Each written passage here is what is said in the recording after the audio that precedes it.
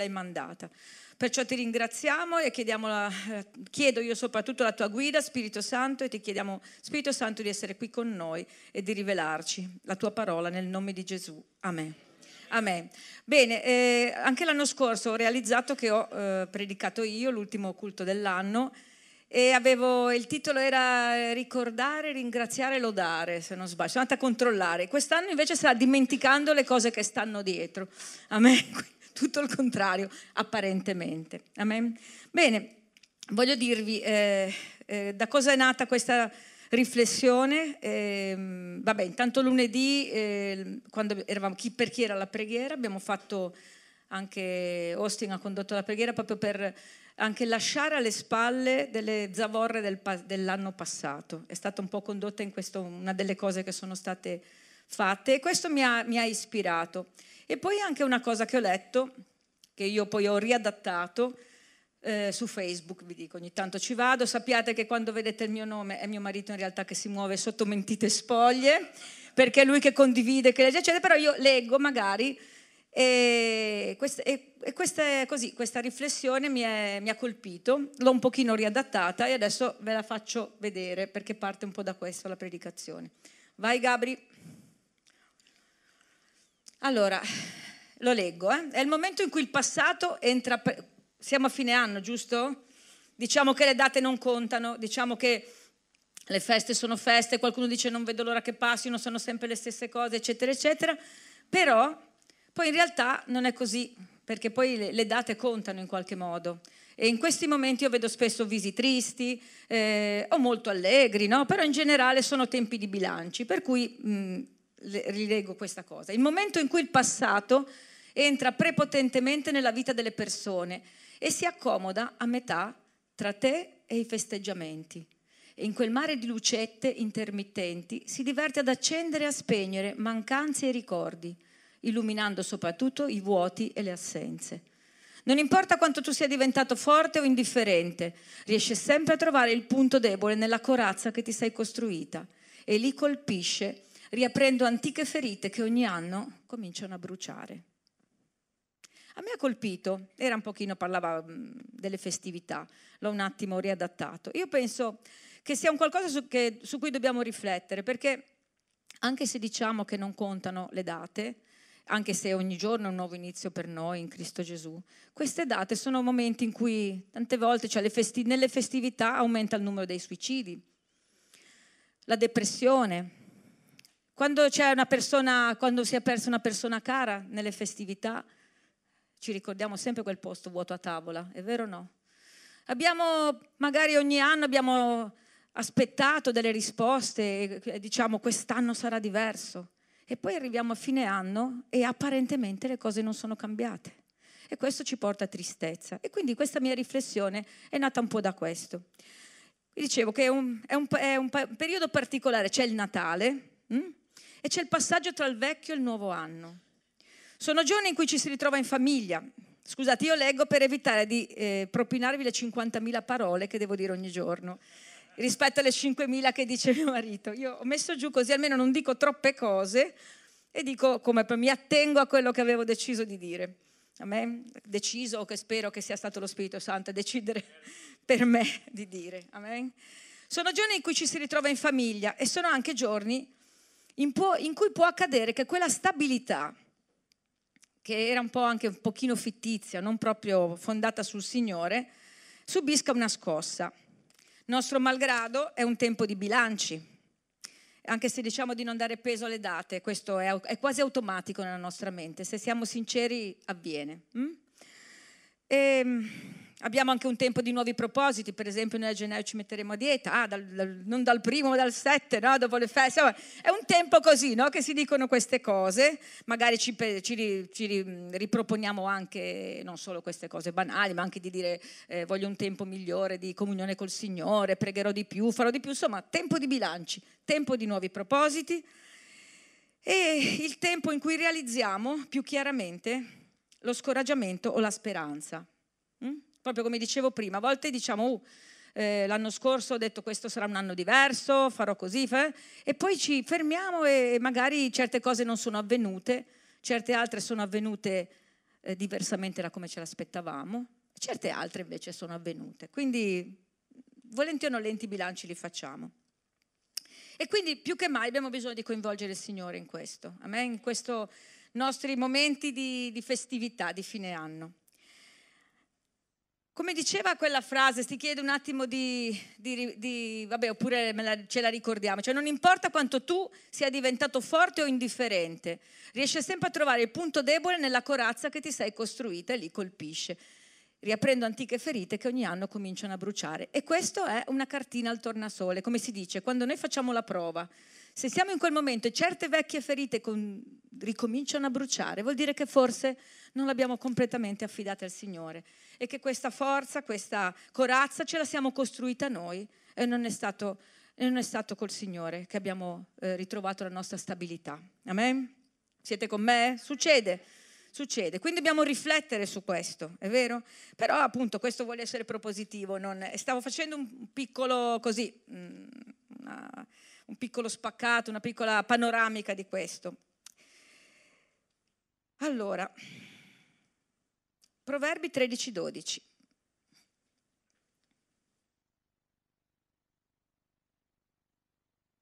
Arriva, sta arrivando. È un versetto che mi ha sempre fatto riflettere. No, penso che sia. La speranza insoddisfatta fa languire il cuore, ma il desiderio realizzato è un albero di vita amplificato sulla BLB, che tutti potete scaricarvi, dice la speranza o aspettativa insoddisfatta, differita, prolungata, cioè l'aspettativa di qualcosa che ritarda praticamente, fa languire, cioè indebolisce, ferisce e fa ammalare il nostro essere interiore. Quando noi siamo in attesa di una risposta, non ci sentiamo così bene, diciamocelo. Hm? Umanamente parlando, ma il desiderio realizzato è un albero di vita, cioè di risveglio, di rinfresco e di felicità.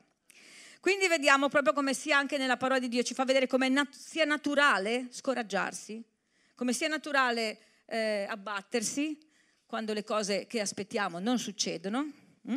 ma come sia soprannaturale invece avere fede e andare avanti con forza. Amen? Quindi è naturale che noi siamo scoraggiati quando le cose non avvengono. Cioè siamo in linea con la nostra natura umana, ma è soprannaturale continuare a restare fermi in fede. E però abbiamo bisogno di, di affrontare queste cose. No? A volte le, abbiamo dei, dei, meccanismi di sopravvivenza nel nostro essere umani, no? cioè quindi tipo la rimozione, la sublimazione, eccetera, eccetera. Poi c'è chi, chi ha studiato psicologia e può fare meglio di me. Però sono meccanismi di sopravvivenza, ma a volte poi ci fermiamo guardiamo, facciamo bilanci e vediamo che in realtà questa pace magari che pensavamo di avere, questo equilibrio che pensavamo di avere, in certi momenti viene meno, perché abbiamo bisogno di, di rimettere tutto davanti al Signore. Semplicemente questa è la soluzione, non, sono, non c'è altro. Non farò altro che riesprimerlo, ma questa è la soluzione. Abbiamo bisogno di Gesù. Amen. Eh, dunque, quindi vorrei un pochino insieme scoprire alcuni scomodi compagni che ci accompagnano e che ci zavorrano. Lo sappiamo quali sono, però li rivediamo insieme per, per potercene liberare, perché quando realizziamo queste cose qui, noi possiamo poi liberarcene e continuare la nostra corsa. Amen? Entrare in questo nuovo tempo. Vedete, questo nuovo tempo non è solo questo nuovo anno, 2020. Ho detto che quando sono date magari ci viene più facile fare dei, così, dei, bilanci, ma è proprio un nuovo tempo che il Signore sta preparando e tanti di noi lo sentono spiritualmente come un, come un friccicore, come si dice, trrr, sentiamo che c'è qualcosa di diverso, di accelerato, di meraviglioso che il Signore sta facendo per tutta l'umanità. Eh? Sta tornando, Gesù sta tornando, sta preparando la sua sposa, amen? Allora, vediamo questi scomodi compagni. Allora, punto uno, la paura e l'incredulità che spesso camminano a braccetto. Non vi faccio venire avanti in due per fare paura e incredulità, però paura e incredulità, incredulità e paura sono collegate. Versetto 29, Geremia 29, 11. Questo è il nostro antidoto. Infatti io so i pensieri che medito per voi, dice il Signore. Pensieri di pace e non di male, per darvi un avvenire e una speranza. Allora, Amplifichiamo. Io so i pensieri che medito per voi, la parola so è conosco, dichiaro e vi faccio conoscere. Ok? Quindi non vuol dire che sono pensieri che il Signore dice, ah io ce li ho, ma tu arrangiati, tu fid- è vero, fidati, ci dice anche di fidarci, però Lui ce li fa anche conoscere i pensieri. Eh? che ha per noi. Pensieri di pace e non di male per darvi un avvenire e una speranza. E vedete, per esempio, qua riflettevo, no? perché non dice pensieri di bene e non di male? Perché il contrario di male è bene, non è pace. Eppure questa pace, la parola è shalom, quanti la conoscono? Quant'è shalom? Pace è riduttivo, perché shalom significa molto di più, significa completezza, significa salvezza, significa benessere, significa salute, significa pace, significa tranquillità, significa amicizia e significa stabilità. Stab- abbiamo bisogno di essere stabili, fondati sulla roccia, amen? E questo è un cammino, comunque un percorso, il Signore lo sa. Quindi a questo punto, a paura e incredulità, l'antidoto è conoscere la volontà di Dio per noi. Quindi sapere anche che questo Natale che noi abbiamo festeggiato, che anche se non era la data giusta, anche qui, anche là, insomma, abbiamo ricordato che i cieli si sono aperti amen. per noi, amen. Con Cristo Gesù i cieli si sono aperti. Lui ha, dato, ha tanto amato il mondo che ha dato il suo figlio Gesù. Amen? Quindi questo dobbiamo ricordare. Abbiamo festeggiato chi ha fatto l'albero, chi ha mangiato il panettone, abbiamo brindato, ma c'è qualcosa di profondo. Non è, è attaccato. Abbiamo il Natale e abbiamo il nuovo anno. Allora noi abbiamo una speranza che è Cristo Gesù e l'abbiamo appena celebrato questo e dobbiamo ricordarci questo. Quindi lui è lo strumento per la nostra shalom. Quando lui è entrato nel mondo, quando lui ha aperto i cieli per noi, quando lui poi è stato crocifisso, è, salito, è risuscitato, e, cioè lui ha, è stato lo strumento per la nostra completezza e per tutto quello che vi ho letto. Amen. Io credo che sia meraviglioso, lo sappiamo con la testa, ma questo lo continuiamo a ripetere perché deve entrare nel nostro cuore. Amen. Punto 2, altro compagno, l'orgoglio è subdolo e obiettivamente poi tanti di noi me compresa, non ammetteremo mai di avere orgoglio, no? perché noi siamo le persone più umili del mondo. Ma quando vogliamo fare da sole, quando pensiamo già di come dovrebbe succedere qualcosa, noi aspettiamo una risposta e decidiamo che quella risposta dovrebbe avvenire in quel modo lì. E così, oppure quando cerchiamo di arrabattarci con le nostre forze, siamo orgogliosi, ok? È orgoglio. E io voglio, già lo dico ben per prima, perché voglio riflettere su questo. Isaia 55, 8, 9. Questo è l'antidoto. Eh, infatti i miei pensieri non sono i vostri pensieri, nelle vostre vie sono le mie vie, dice il Signore. Come i cieli sono alti al di sopra della terra, così sono le mie vie più alte delle vostre vie e i miei pensieri più alti dei vostri pensieri. Amplifichiamo. Allora, i miei pensieri, amplificato vuol dire i miei scopi e i miei piani. Dio ha dei piani per me e per te. Amen? Ma non sono i nostri piani. Quindi i miei piani e i miei scopi, le mie vie, amplificato è strade, direzioni, modalità. Quindi facciamo un po' così. I miei piani per te e le mie modalità per arrivare a questi piani non sono tue, i tuoi piani e le tue modalità, o i miei piani, cioè i miei di me, eh, Maurizia ma sono più alte. E la parola più alta amplificata vuol dire più nobili e più ampie. C'è un piano più allargato per ognuno di noi. Amen? Il Signore ha un proposito per ognuno di noi che non è 99 su 100 non è il proposito che abbiamo noi in mente. Più, eh, ed è più nobile, più ampio di quello che possiamo avere noi in mente. Amen? A questo punto l'antidoto è realizzare che se anche noi immaginiamo come dovrebbero andare le cose, Dio ha qualcosa di meglio per noi e dobbiamo imparare, indovinate un po', a fidarci di Lui. Per cui, come abbiamo detto, la fede è soprannaturale, perché naturalmente noi siamo stati programmati per fare delle cose in un certo modo. Amen? Punto 3, altri due compagni che vanno di nuovo a braccetto e non so se mettere prima uno, prima l'altro, è lo scoraggiamento e l'autocommiserazione. Quando sono scoraggiata mi autocommisero. Quando sono, quando mi autocommisero automaticamente mi scoraggio. Autocommiserazione sapete tutti no? cosa, di cosa parliamo? Oh povera me, guarda, nessuno mi ama abbastanza, nessuno mi considera. Oh, oh povera me, ho questo problema e non riesco. E usiamo, cioè facciamo, adesso amplifico poi, cioè no, spiego questa cosa qui. L'autocommiserazione è terribile. Io veramente ne ho sofferto per tanto tempo e quando la riconosco cerco proprio di cacciarla via, perché è quello che ci impedisce di reagire e di agire in fede. Quando noi cominciamo a piangerci addosso, ragazzi, non ce n'è. Dite con me, non ce n'è se ci piangiamo addosso. Noi dobbiamo avere consapevolezza, ma poi dobbiamo combattere perché il Signore ci ha dato tutte le armi per combattere per vincere. Amen. Lui ha già vinto la battaglia, ha già vinto la guerra, ma noi abbiamo delle battaglie. E quando iniziamo a piangerci addosso, è difficile che non ci scoraggiamo ed è difficile che possiamo combattere eh, le battaglie che ci sono riservate. Quindi, Isaia 43, 18, 19. Non ricordate più le cose passate. Non dobbiamo ricordare, eh? Non considerate più le cose antiche. Ecco, io sto per fare una cosa nuova. Essa sta per germogliare. Non la riconoscerete? Sì, io aprirò una strada nel deserto e farò scorrere fiume nella steppa. La cosa nuova il Signore la sta per fare. Amen. Nella mia e nella tua vita. Il problema è che dobbiamo riconoscerla. Amen. Quindi, amplificato, non ricordate più le cose vecchie, non richiamatele alla mente. Questa è l'amplificazione. Vuol dire che se anche non...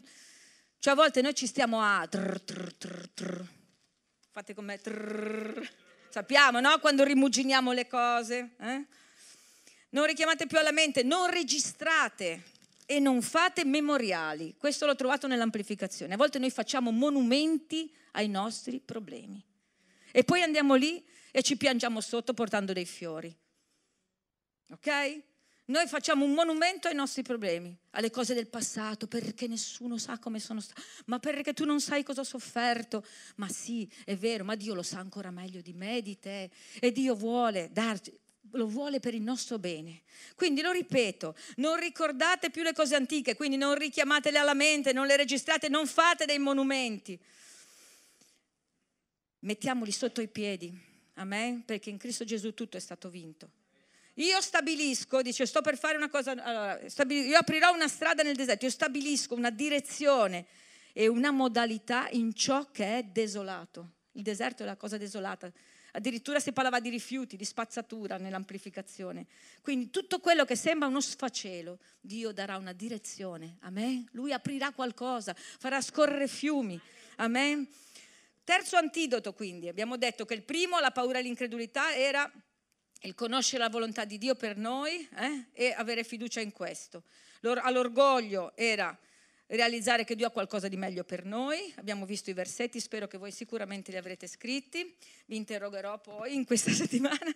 E il terzo antidoto allo scoraggiamento e all'autocommiserazione è non continuare a guardare a ciò che è stato o non è stato, ma guarda avanti a ciò che Dio vuole fare. Lo so che vi sto dicendo delle cose un po' scontate, però guardate, se veramente le mettessimo in pratica saremmo un popolo molto più vittorioso. I pastori avrebbero meno consulenze da fare e tutti quanti saremmo molto più in vittoria, amen? perché tutti abbiamo bisogno di cambiare, a partire da me e da mio marito. Amen? Quindi abbiamo detto che l'antidoto a questi compagni di scoraggiamento e autocommiserazione sono non continuare a guardare ciò che è stato e non è stato, ma guarda avanti a ciò che Dio vuole fare. Non cercare di farcela da solo. Riconosci il tuo bisogno di Gesù e lascia che Lui porti riposo, il riposo e la tranquillità necessari a, per, a percorrere questo nuovo anno in vittoria. Amen. Lui vuole darci riposo, lui vuole darci tranquillità, lui vuole darci un anno di cose nuove e vittoriose. Non magari appunto secondo il nostro concetto di vittoria, non magari secondo il nostro concetto di prosperità nostro, ma secondo la sua parola e la sua volontà, perché abbiamo detto che i suoi piani sono più ampi, le sue direzioni sono più alte delle nostre, ma lui ha un piano per ognuno di noi. Il problema è che noi ci dobbiamo credere e, credere a che cosa? Che lui ha il meglio per noi, anche quando non ci capiamo niente. E mm, mi è piaciuta questa riflessione L'essere umano è stato creato con un'intelligenza superiore al resto delle creature, anche se a volte non sembra, e poi sono, si sprecano le battute sul fatto che gli animali sono più intelligenti, non è vero. un'intelligenza che progetta è quella che Dio ha dato all'uomo, all'essere umano. E chiaramente aveva dato tante altre competenze che poi con la caduta, eh, con il peccato in Eden abbiamo perso e che spiritualmente possiamo recuperare in Cristo Gesù. Ma questa intelligenza la vediamo già nei bambini. Questo mi ha colpito, una riflessione che ho letto e quindi la, la voglio passare. Eh, avete presente che sui tre anni, quattro, io, noi stiamo vivendo questo con Letizia, nostra nipote, ma qualunque bambino l'abbiamo vissuto con i figli, la fase dei perché conoscete, l'altra sera fatto, facevo addormentare mia nipote, mentre la facevo addormentare sono scivolata dal divano e una bella sederata per terra e abbiamo passato mezz'ora a parlare del perché. Io ero caduta per terra, ma perché volevi farmi dormire, ma perché io dovevo dormire, ma perché allora, ma perché qui, ma come mai sei scivolata, ma perché ti sei messa di qua. A un certo punto sei stata dormi, non ne potevo più, no? Ma questa fase è considerata una tappa dell'intelligenza, è proprio una tappa che i bambini devono avere, è estenuante per i genitori e per chi gli sta intorno, ma il fatto di farsi delle domande fa parte della nostra intelligenza. Il problema qual è? Che noi spesso facciamo come i bambini e questi perché noi li continuiamo a chiedere al Signore. Perché, perché, perché, perché? Perché mi è successo questo? Perché le cose non stanno andando avanti? Perché è andata così questa cosa? Perché, perché, perché? E spesso pensiamo che il nostro riposo e la nostra pace la troveremo quando avremo la risposta a quei perché. Ma non è così. Non è così, non sempre, adesso vi leggo questa bella frase perché non voglio alterarla, perché noi non possiamo trovare riposo nel fatto di sapere tutto, tutti i perché di quello che ci sta accadendo. Vi do una, è una cattiva notizia, non lo so per, per voi e per me, no, è buona perché tante volte non ci sono spiegazioni, ci sono cose che rimarranno, tante volte diciamo, eh, quando saremo con, con, la, con, lui glielo chiederemo, ma forse non ci importerà neanche di sapere la risposta quando saremo, ci sono delle cose che veramente ci chiediamo e non ci riusciamo a spiegare, però in realtà il riposo non lo troviamo nel trovare la risposta ai nostri perché. Il riposo non si trova nel cercare di capire ogni cosa, ma nella fiducia in colui che capisce ogni cosa e che governa in gloria per il nostro bene. Amen. Lo voglio ripetere perché è veramente una cosa che mi ha toccato quando, mentre leggevo, mentre mi preparavo. Il riposo non si trova nel cercare di capire ogni cosa, ma nella fiducia in colui che capisce ogni cosa e governa in gloria per il nostro bene. Amen credo che sia anche un tempo per eh, dichiarare sempre di più la nostra resa al Signore, per affrontare in vittoria questo anno che abbiamo davanti. Per alcuni sarà un'aspettativa gioiosa, quante belle cose, soprattutto i più giovani magari, eh? con un po' più di anni. A volte abbiamo anche paura del nuovo anno, oppure siamo delusi, non ci aspettiamo più risposte. Chissà, dici, magari ci siamo aspettati risposte per anni, queste cose non avvengono. E allora quasi ci dà fastidio se qualcuno ci dice quest'anno sarà diverso, no? Non vuoi neanche sentirtelo dire, non me lo dire che non mi voglio illudere. Ma invece noi dobbiamo avere, non essere degli illusi, avere fiducia e trovare quel riposo meraviglioso. Ora vi do la definizione di riposo, mille, mille fogli ve l'ho detto. E intanto magari se il gruppo Lode può venire, così vi do già il segnale che siamo a buon punto. Ho parlato anche poco. Adesso tengo ancora un quarto d'ora a dire qualcosa che non c'entra niente, così almeno scherzo. Eh, riposo è, qui abbiamo detto, abbiamo bisogno di riposo e tranquillità. C'è un mm, bel detto che ogni tanto ce lo ripetiamo mio marito ed io, me lo dico da sola, lo dico ad alcuni quando facciamo qualche consulenza. Dio esiste e non sei tu. rilassati.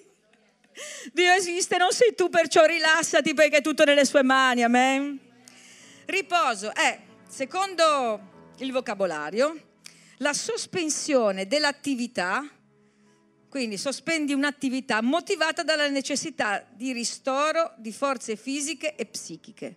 Quando siamo proprio tilt, abbiamo bisogno di riposo per ristorare le nostre forze mentali e fisiche.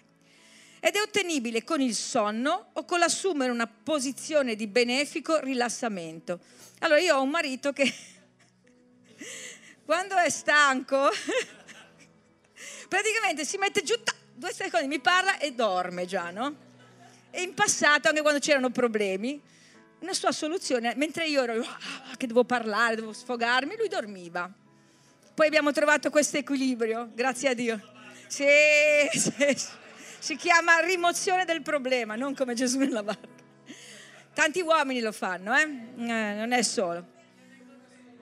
Eh, beh, e ci facciamo quattro risate, però poi dobbiamo trovare un equilibrio e poi veramente non è dormire per fuggire ai problemi, ma trovare il nostro riposo in Cristo Gesù è diverso. Amen? E tutti stiamo in, siamo in crescita per trovare questo. E secondo la Bibbia, il riposo è il restare tranquilli in una calma e paziente aspettativa. Amen? Il riposo parla di fede, di sapere che se anche c'è la tempesta intorno io riposo il riposo parla di dire, ok Signore, io non ci capisco niente, ma so che tu lo farai. Amen, amen.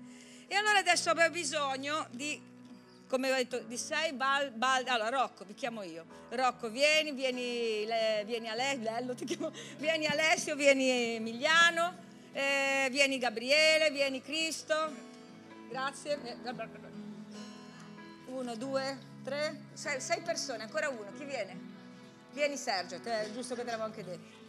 È solo per farvi visualizzare, eh, non devono fare niente. Adesso, aspetta un po'. Tanto così. Ah no, c'è stato. 27. 27. Giuro che adesso... 20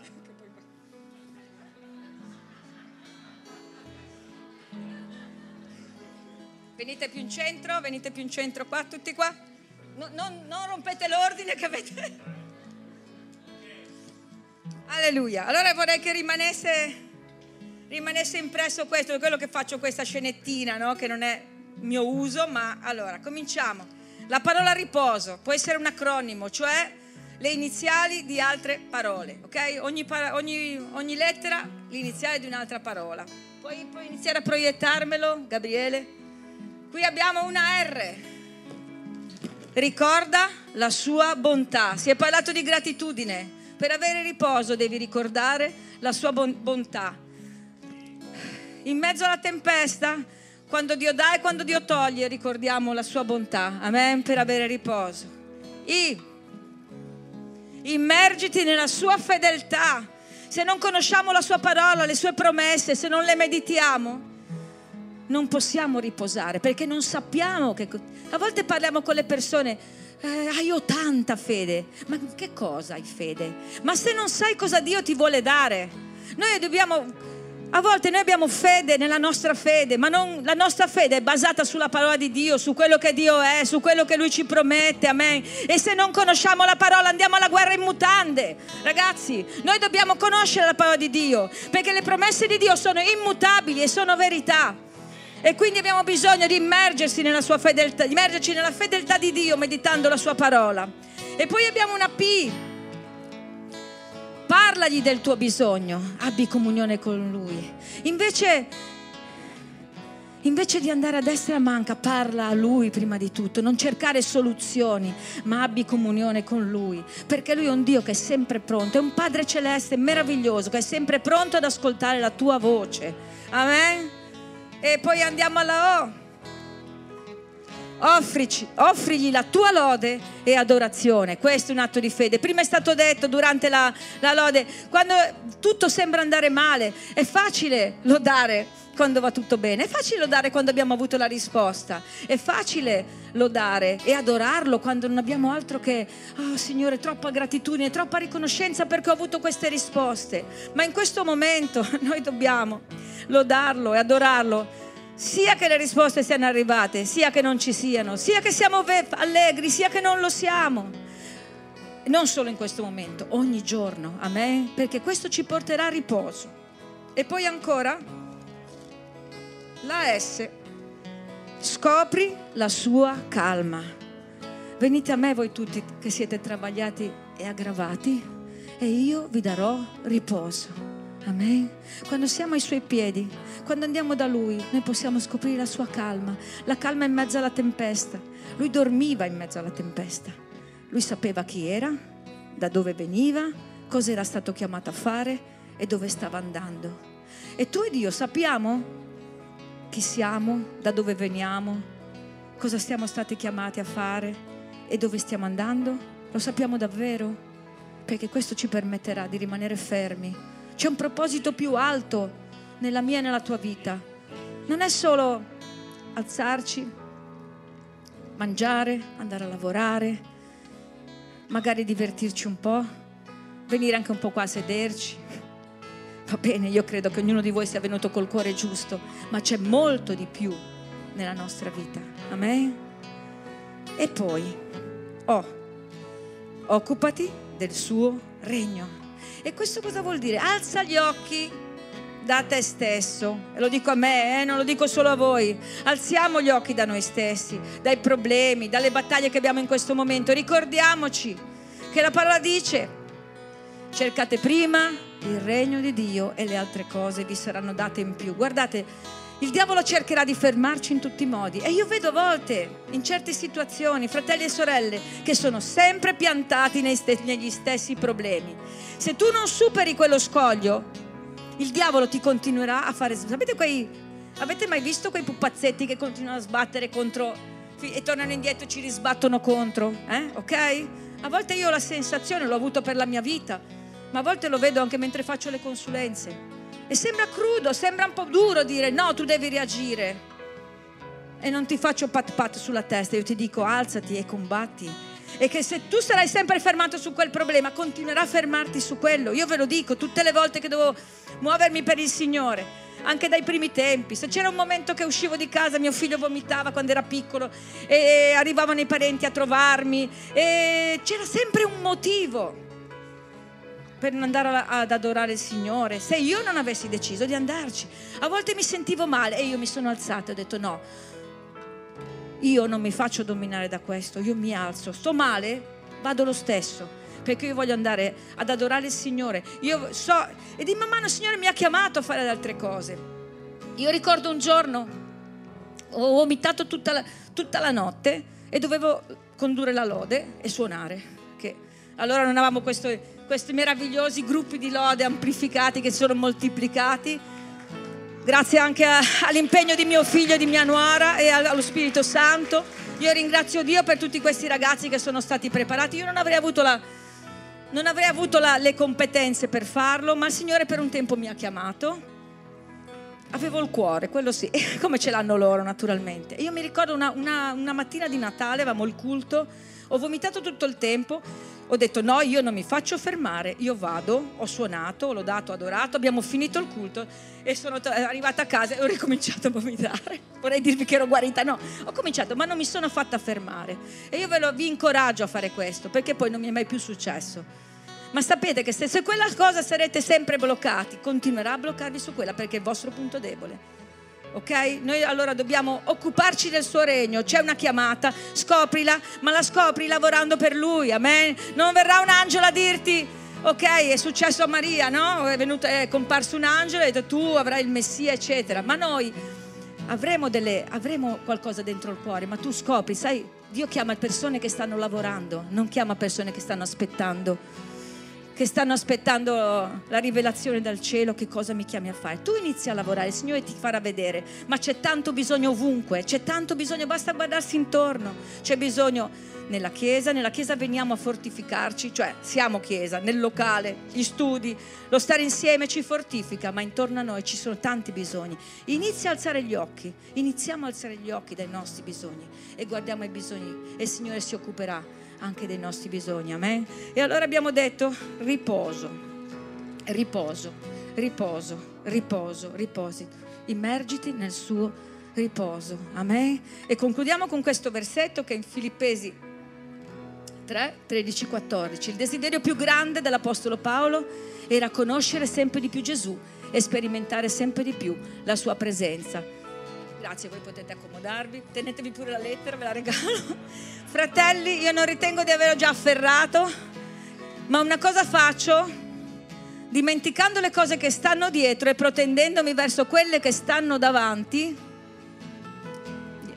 corro verso la meta per ottenere il premio della celeste vocazione di Dio in Cristo Gesù.